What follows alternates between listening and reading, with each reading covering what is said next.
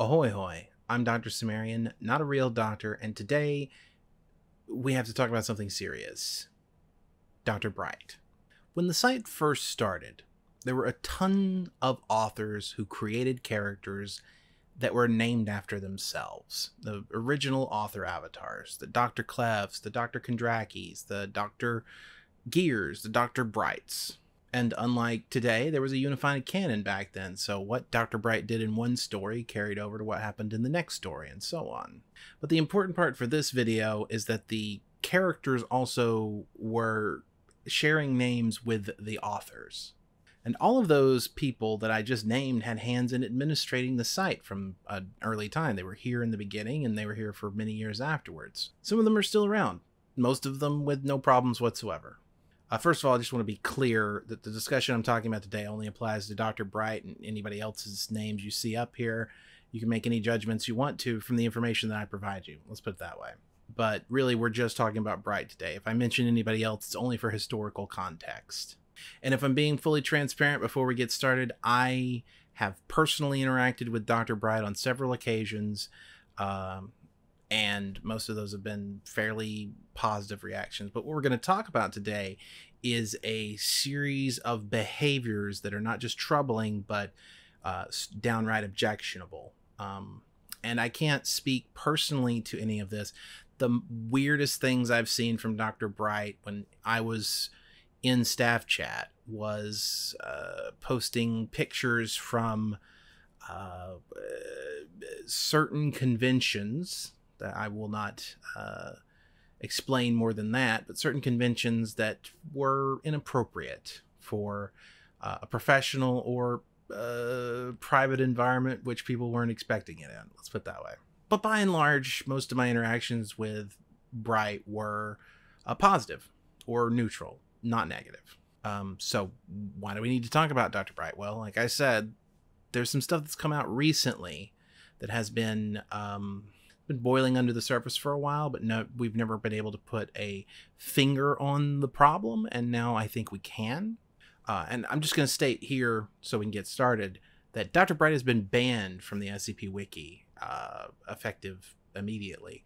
Technically, Bright was banned for six months already for uh, certain secretive reasons.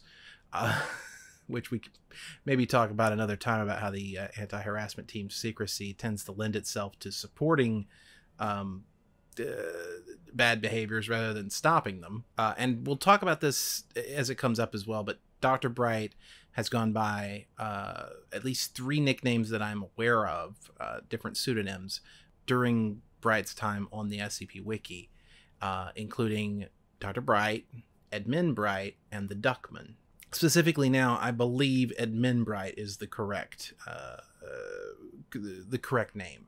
Uh, we should probably step back to 2020, um, May 3rd specifically, when uh, Bright resigned from the SCP Wiki staff and just generally went into hiding. Uh, and then that puts on a negative connotation. It's probably not accurate for the time. Um, disappeared, pretty much. Uh, but before we continue, there's probably need for a content warning. And I'm going to tell you right now that there's a content warning for uh, stuff that I'm not going to describe yet. Uh, if you'd like to just tune out on the idea that there could be something that bothers you, now would be the time. It's going to be content involving, um, so let me get this exactly correct.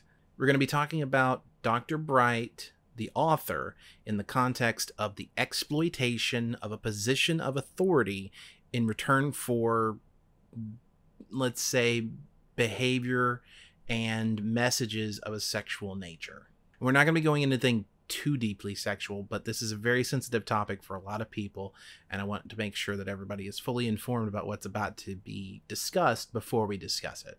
Dr. Bright was banned for some, I'm going to clearly say, from in my opinion, exceedingly creepy behavior, and uh, we're going to talk about that behavior.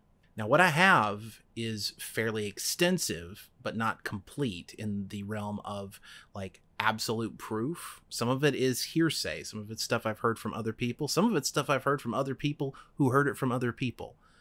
But I have enough information in front of me that I can concretely look at, and I have enough uh, references from just secondhand, not third hand, but secondhand information, as to make a determination that the vast majority of this seems to be true. How much of it is exactly true is beyond me. I'm not making any uh, claims as to the correctness. I'm merely presenting the information for you to make a decision of your own. But before we get started, and I know this is a big preface, um, if you think that this is nonsense, that's fine. I disagree with you, but that's fine. But leave staff, leave the victims alone, leave Bright alone, be honest with you. And if you don't think it's nonsense, if you think it's a serious issue, still leave Bright alone. Honestly, this is not a a call to action. This is not me telling you you need to go out and, you know, witch hunt anybody. Don't do those things.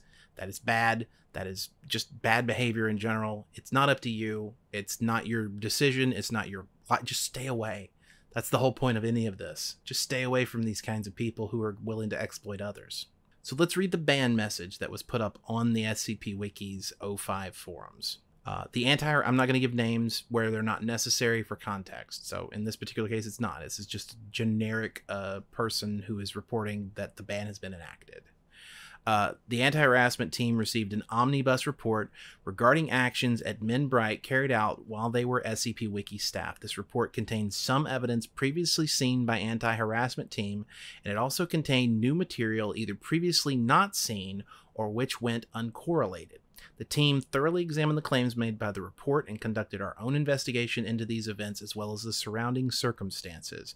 It is our determination that Admin Bright acted in a manner that was both deeply inappropriate and well beyond the lines drawn by sites, the site's harassment policy.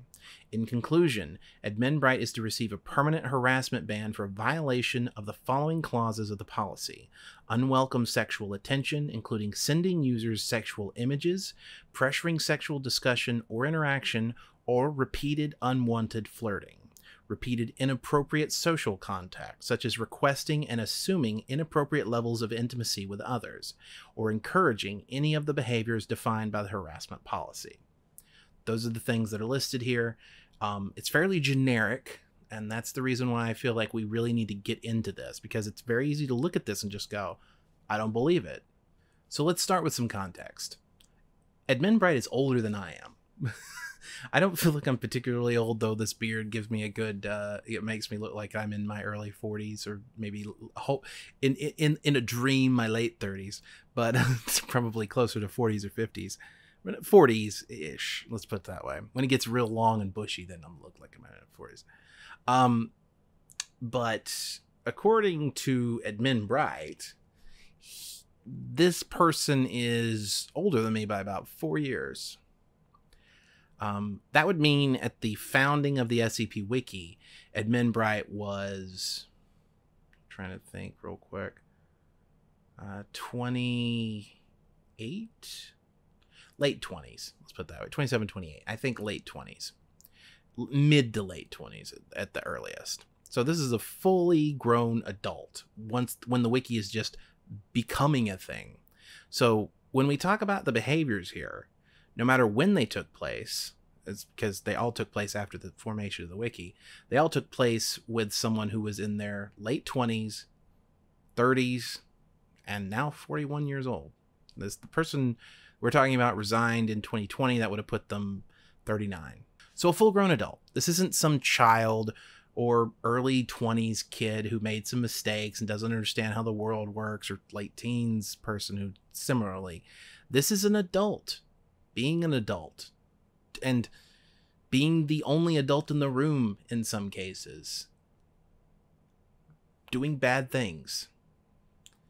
And uh, this is the problem, really. Uh, we talked a little bit earlier about my personal interactions with Bright, but it is important to mention that for some of the time periods outlined here, I was a member of staff and a fairly high ranking one at that. I would have been a moderator in 2017, where some of the interactions that I'm going to outline actually took place. Um, I was a, a, member of staff between the uh, years of 2016 and 2018, uh, roughly a little bit over two years, I think. Um, but personally, do not recall. I can't say that this could have happened in front of me and maybe I somehow ignored it. And uh, I could, uh, you never know. But I don't recall ever seeing anything seriously bad happening in chats that I was involved in. But I can't rule it out because memory is what it is. And this was a long time ago. Uh, but in a, and in a two year period, who knows? But it's important to give that as context that I, you know, was here for some of this. Uh, and when we talk about personal, like, you know, secondhand information, I have talked to numerous people who have said that they have had not necessarily inappropriate, but gotten very creepy vibes off Dr. Bright before any of this stuff came out. It's just a thing that has been known for a very long time. Dr. Bright gives off creepy old man vibes, was, I believe, the exact phrasing that the last person I talked to uh, said. Um, and this is me reporting something somebody else said to me, so keep that in mind. But I'm telling you that this is a pretty commonly understood and known thing. We're gonna work our way backwards, starting in 2020, and see what we can get uh, get to eventually about this. Uh, in 2020, Dr. Bright resigned from staff, but this was not an incident that happened in isolation. See, staff was discussing behind the scenes, and we'll say we'll save for a second the reasons why, but they were discussing behind the scenes uh, a sort of divorcing of your names on the SCP Wiki, if you were a member of staff, um, from usage on social media sites that involved sexual messaging or content or contact, even. Uh, and this was happening with uh, Bright specifically um, on a social media site called FetLife, and we're not going to talk too much about it, but it is a social media. Let me read the exact description I wrote down because I don't want to get this wrong. Um, a social media site focused on fetishes, mostly of a sexual nature. Again, not going to go into specifics, but this is a very adult space. And it isn't just for communication, but also for scheduling meetups and uh, and group events of sorts. Um, um, this is important that you understand that this isn't just messaging even. This is the potential for physical interactions. Is still there for this. And dr bright was uh, reportedly i couldn't find screenshots of this but reportedly using bright's name and position on the scp wiki um, as a sort of encouragement to get people to interact with bright on this site I'm not trying to indict somebody's fetishes or kink shame anybody. We're not going to talk about any specifics on that for obvious reasons. But the important part to understand is that uh, this is a site. Uh, it has. I, I'm reiterating it because it needs to be made very clear that this is a site in which people have not safe for work interactions. They send nudes. They send uh, meetup locations. They make meetups. They have a, you know uh, events where people can uh, come together. Uh, this is a thing, and when you use your name and authority as an SCP Wiki administrator in such spaces, you are running the risk, and I do say risk, of somebody recognizing you it's not a good thing if they recognize you because if somebody is incentivized to do something they wouldn't have done otherwise without your authority and name as you know a semi minor internet celebrity involved um then they shouldn't do it and you shouldn't want them to do it. I, that that seems like pretty clear to me. Um unfortunately bright seems to have a different opinion on this particular topic you might be saying to yourself, well, I bet this never turned into a real thing. But I have, uh, I'm going to go ahead and go over a conversation here. Uh, and I'll put up on the screen a version of it that I have. I have multiple. I actually managed to pick up multiple sources on this, but uh, one of them is a little bit more clear than the other. Um, but I have uh, an image I can show you of this conversation. Um, between uh, three people. It's going to be Dr. Clef, A Random Day, and Admin Bright. Um, and I'm using those names here, but uh, specifically, some people call A Random Day Ard. Um, in this particular conversation, uh, A Random Day is using the name Truffles, which is another known pseudonym. Um, and Admin Bright, I believe, is using the Duckman. Dr. Clef. Hey, Duckman, you're my hero. You have lots of sex and do Ren Fair the Duckman. Why? because I keep getting people to send me nudes by talking to them about the SCP Foundation. Truffles, the Duckman.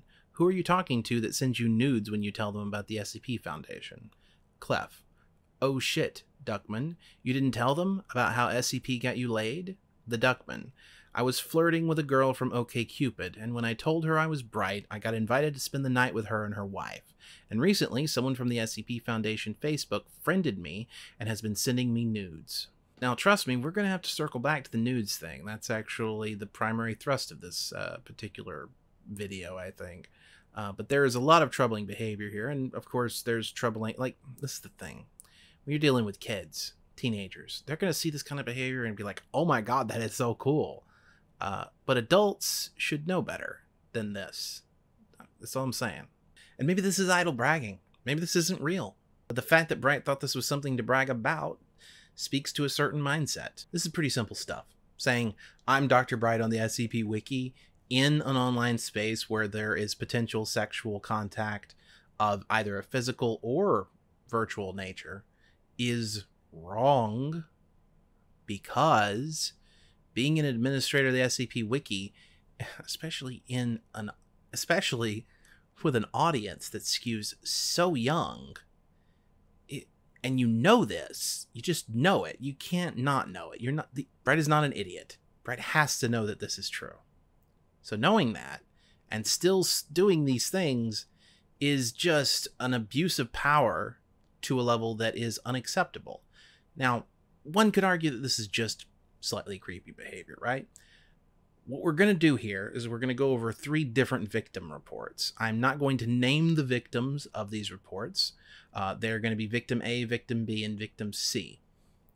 In these reports, you will, and I have the uncensored versions of these. I know the names of these people, or not all of them, I think, but I know the names of some of these people, and I know the names of some of the other people behind these. Um, and I trust that these are true from context and also because there's just so many of them. So let's start with victim A. Yeah, it's been a really, really long time and I apologize. I don't have logs or the best memory, and this was some 9 to 10 years ago. But when I was 15 or 16, I decided I wanted to be a user and wrote for the SCP Wiki and joined the IRC to talk to the writers there so I could make some friends, maybe learning a thing or two. You know how it goes aspiring kid wanting to meet their heroes, etc., etc. But me being an idiot kid, I couldn't figure out how to sign up for the Wiki, and I took to messaging Bright about it because I was like, hey, help. And it should be important to realize uh, that at this time on the uh, on the join page, it actually said to contact Bright if you were having problems with joining the SCP Wiki. So this wasn't out of nowhere uh, and his was the only name I recognized in the IRC at the time, anyway. I spoke to him, and I distinctly remember getting this massively like dirty old man vibe from him. Like, I didn't think it was weird at the time, but the way he talked to me, especially after I posted a selfie in the chat, was really, really predatory and weird. Stuff like pet names and making sexual comments directed at me and complimenting me in ways that you really shouldn't compliment a minor. I'm 90% sure there was at least one tentacle hentai joke in there, but I could be mistaken.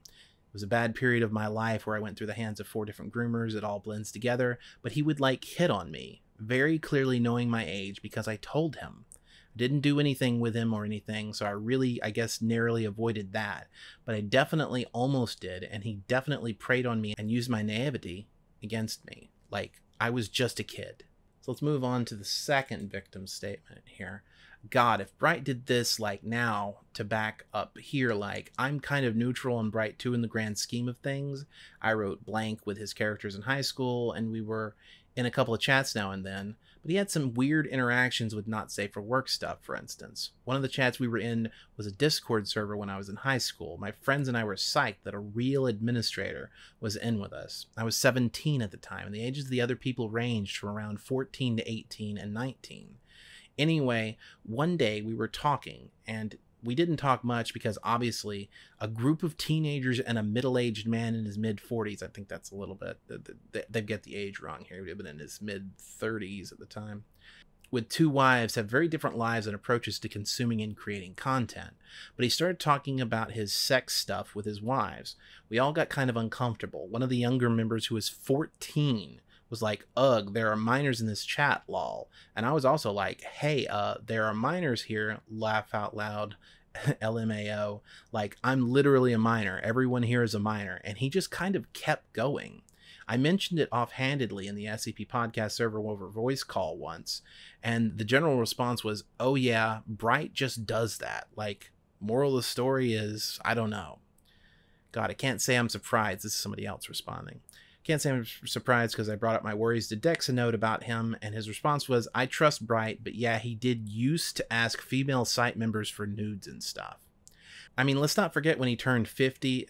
It's this is incorrect. It was when he turned 36.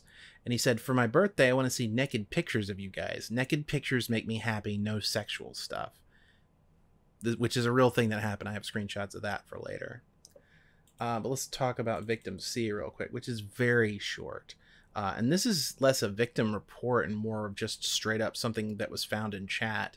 Um, the person saying, I'm a stupid teenager, the Duckman. You're only as old as who you feel. Dot, dot, dot, gropes. And this is groping. Uh, the nickname here that's blocked out is a nickname for the person that's fully. I know the names that are on this. Much better. So, yeah, they're not the only pieces of evidence I have access to, but they're the three that I thought best presented the problem. And again, you keep seeing the nudes thing pop up, and there's a reason for that. It's important to conceptualize what these people are going through. They are some of them, uh, not some of them, all of them are kids of some degree of age below the age of 18. And every single one of them is just excited to death to see Dr. Bright there, right? This is Dr. Bright. This is the person that we've we've read about in stories. We've seen the list. Dr. Bright's not allowed to do this and that at the foundation. And yet, Bright is taking advantage of people. So now let's circle back to the nude pictures problem. In May of 2012, the SCP Wiki's admissions process involved uh, a, a, much more simplified thing. It was just a page that Bright mostly handled as an administrative function, uh, solely almost at the time. It, it, got out of hand after a certain amount of applications started getting to be too much. But at the time, it was a one person show. It's the reason why uh, contacting Bright about your application at the time was the right thing to do. Well, according to the the join page. So let me show you something that was on the page in May of 2012. Uh, and you can see, you know, basic stuff here. These are the read those pages, read all this other stuff. At the very bottom, Humorous note don't forget naked self pictures and monetary donations are always welcome and may help process your application. This was on the join page. This wasn't on the join page for a day or a week or a month. It wasn't on the join page for just a year. It was on the join page from May 2012 until June of 2013. And it wasn't idle. It's not meaningless. People sent, uh, or at least a person for sure, confirmed, sent nude pictures. Worse yet, there was conversations behind the scenes about how this one person sending nude pictures was probably a good idea. Of, we should get rid of this. They were pretty sure that the person that had sent nude pictures was sent, had sent just pictures they'd found on the internet. However, the fact that they had done that meant that you know maybe we should get rid of this humorous note. Let's put quotation marks around the word humorous here uh, and you know maybe it's not as funny as you think it is. Uh, so they footnoted it instead. They couldn't they couldn't bring themselves to delete it, so they footnoted it instead uh, with something along the lines that said, you know, uh, doing this is likely to get you declined, so don't do it. Uh, until Bright came along and removed that edit, everything went back to the way it was until again June of uh, 2013. The idea was it only happened once, so it's not a problem. It didn't just happen once, by the way. Um, I've looked uh, through some uh, logs where people are complaining about it happening multiple times um, by the end, anyway. When the page itself was revamped completely, uh, that line was finally taken out. But this is the core of the problem. Let's forget about, you know, the grooming problem, which is, uh, I feel like we shouldn't forget about it. But even if we put that aside for a moment, the nude pictures thing is a common common thread for Dr. Bright, the author, I should say, of Dr. Bright. And we have information on the discussions that went on behind the scenes for this. Um, let's open up the chat real quick. This is the one that led to the original footnote. Uh, so we get we got an app with nude pics. Why? Because Bright. I'm reading from the yellow lines here. Bright made a joke on the join page that nudes will get you in. So this isn't theoretical. This is a thing that happened. And there are other notes from other conversations that someone else may have been applying multiple times with multiple nude pictures. But we're not done still, it seems. This isn't a problem that has uh, gone away. It's not a problem that it's a problem that's been consistent since at least 2009. Uh, at the earliest time I can find exact proof of it, and as recently as 2017, which is not that long ago. Just saying. Um, so let's take a look at some of those images real quick. Uh, this is from uh, Bright's Tumblr page, which is, or I'm sorry, not is, but was at the time connected to the official SCP Wiki uh, Tumblr because Bright was the one that was running it. So Bright ran both, and having the name connected uh, meant that they could that people could find this very clearly from an official SCP Wiki page. Um, and this is the thing that was talked about earlier. So I didn't actually read the first line, and now I'm creeped out even more. so, for those of you who have noticed, tomorrow is my 36th, I think, Bright Mint birthday there. I am twice 18, doubly a legal adult, and able to run for president. That was true when you were 35, but whatever. In lieu of birthday wishes, I have two requests. Come out and play with us at Clash of Ages and Birch Run, or if not. But two is, here, here we go back to it. I would appreciate topless photos of yourself or your significant other, whatever. It's a thing that makes me happy. They're for my own personal smiling. I would love to see my Tumblr messenger flooded with sexy selfies. Another line, 2009. Joy, I found a comment of yours on the wiki from 2009 when you asked a girl for nudes or implied it. Answer? Probably. And then there's some important stuff here that comes from staff treating it like it's not a big deal. Dexanote. The Duckman's grown up. We're all aware of this. Imlister. Joy. Wow, sure got him. I mean, you could um, argue that that's not sarcastic, but it seems very much like it's sarcastic. Um, yeah, which is a uh, a common thread through this is that staff know that this is a thing and but they believe that Bright has grown even though it's clearly not true. Uh, let's move on to this one. Uh, just a random comment. I need more friends who randomly send me nudes or even sexy pics. Ah, well. And or another one from Twitter. Send lewds if you wanna. I could use a cheer up. And yes, this is me consenting to them. And on and on and on. You could just keep going.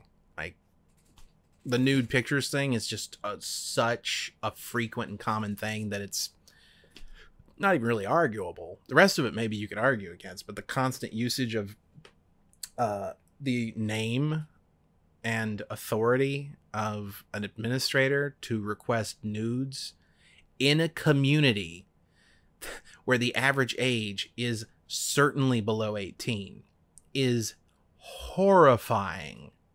If you don't see a pattern of behavior to this, I don't know what to tell you. I, honestly, and I have more that I could be looking at, but I'm trying to keep this thing short, for lack of a better way to put it. So where does this leave us? And why is this being brought up now? Well, first of all, there was the ban. There's also the fact that people start going after people who aren't bright based on their names because Dr. Bright is an incredibly popular character, almost iconic for the SCP Wiki, possibly the most iconic character on the SCP Wiki. And people use that name. You know, people use that as in chats. They use it for on TikTok as part of their personality or, or stuff that they do. It's it's everywhere, right? You have this everywhere.